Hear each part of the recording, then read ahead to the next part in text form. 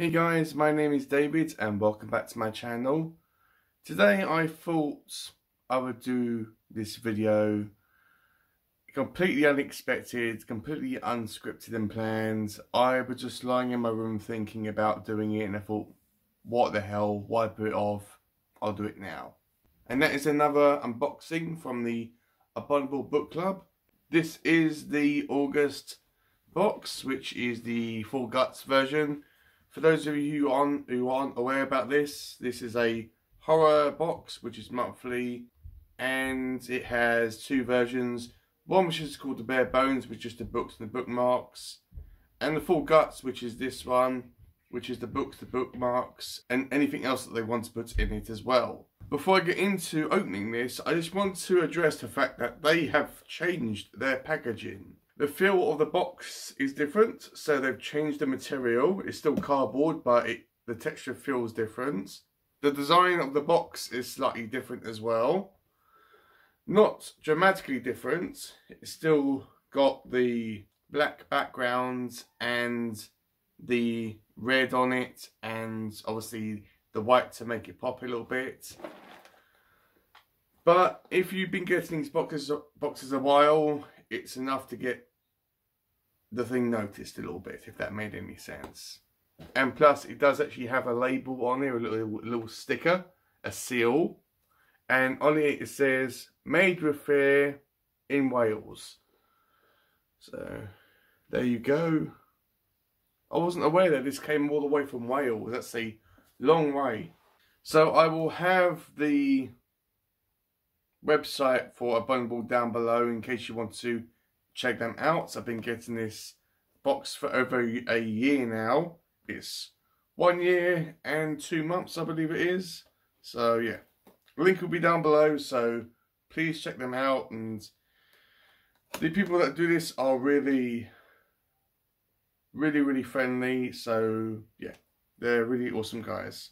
Plus, I haven't actually looked at any videos for what's in this box, so I have no idea what's in this, so I'm going into it completely blind. And obviously they have all these cardboard shreds or shredding material in there, so I have to be careful not to get it all over my bed. First thing that we have is a bag of popcorn and this is what it looks like. It's got a new label there so I presume it's a new brand. And it's maple bacon flavour. And it's it's vegan as well. It's it's suitable for vegans. Oh, well that's different. And I've got an extra mini version of the popcorn which is the basic sea salts. So that's that. Same thing as this, but half the size. So yeah, yummy. Got the bag of drinks, which are always the same thing, but I'll open it on camera anyway to show you what I've got. So this unboxing feels complete. So I have the standard cappuccino unsweetened, a couple of off black tea bags here which are green tea and black tea and another one of these lovely fantastic not disgusting at all coffee tea bag things. And a galaxy hot chocolate. We have this sticker. Yeah sticker which is called possessed by horror. And that's what it looks like. It's a bit bent here and there, but yeah, can't grumble. Not sure if this is in regards to a book in it or whether it's just a odd thing that they've decided to put, actually put in there. Usually don't get that many stickers in these boxes. So we have the Blind Mystery Book. This is a second-hand book which is completely different no matter what box you get. So let's just open this up and see what I have got. See if it's anything good. It is a hardback book. Jonathan Ke Kellerman or, Ke or Kellerman or whatever. And this one is called Billy Straight. And that's the cover. I'm not sure what that's supposed to be. I mean, the, um, the X-Files fan in me thinking that that's a little boy running through a lake or a field with all these stars and flying saucers around him, but yeah, that's just me. And it has a picture of the author in the back as well. Haven't heard of this book, haven't heard of this author. If you've heard about this guy or this book, please let me know down below. Yeah, intrigued about this one, intrigued. The synopsis is way too long for me to read. But, yeah, let me know if you've heard about this one and let me know if you've read it. So we have the brand new book, which everyone gets no matter what box you get. And this one is called The Pallbearers Club, which I love the title. And it's a Paul Tremblay book. I've been meaning to get into his work. I know that he's more well known for the Cabin at the End of the World. Pretty sure that's what the title is called. And I've got one of his books, which I found in a charity shop, which happens to be a signed copy, which is called The Survivors or something along them lines. I'm terrible with, with, um, remembering titles of books. Not sure what to make of the, the um, cover. Has maybe a spine or some vertebrae here and it has three safety pins there. So yeah, I think I might go into this one blind as well and not knowing a thing about it because it's more fun that way. And it is really short. And yeah, oh, it's got pictures in it as well. Yeah, and it's got writing in the margins of the book and things outlined as well. So that's not someone writing in the book, that's part of the book itself. So yeah, interested to read this one. We have a pin here, which, oh, this is, this is funny. It's Slimer. Hopefully you can pick that up on camera. It's really small. And he's got like an ice cream cone and he's got a flake coming out of his head. And he's a, like a vanilla, beigey Slimer. Yeah. Not the best pin I've ever got from these guys.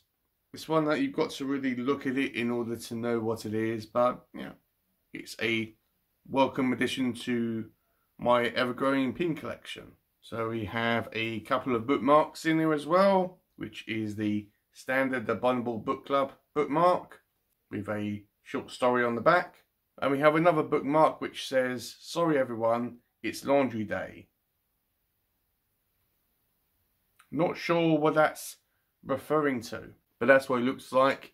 On one side, it's got a picture of some woods in the background and some ghosts. And that's the other side as well. Same wooded background with several ghosts and whatever hell this thing is supposed to be. But, yeah, well, I'm not sure what book this is referring to or movie. But if you know, let me know down below. But, yeah, it's cute. I like it. And we have this thing, the Ghastling magazine, which is book number 15. Tales of Ghosts, the Macabre, and the Oh So Strange. And it has a list of all the authors. So that is the cover. Ooh, there we go. Just um, yeah, see a bit closer. And there's a lot going on in this cover. And that's the list of the authors in this. And that's the back pretty much what this what what what this is, if I can say anything today, is a kind of anthology short story collection. Got several of these in my room. Still need to get to them. I will at one point. Maybe in October I will read a bunch of them and you know at least say that I have read them. It has these pictures in it. Let's see if I can find any more and yeah. So I'll be reading this one at some point maybe in the, maybe in October. So yeah guys that's it. That is what I've got for my box for August.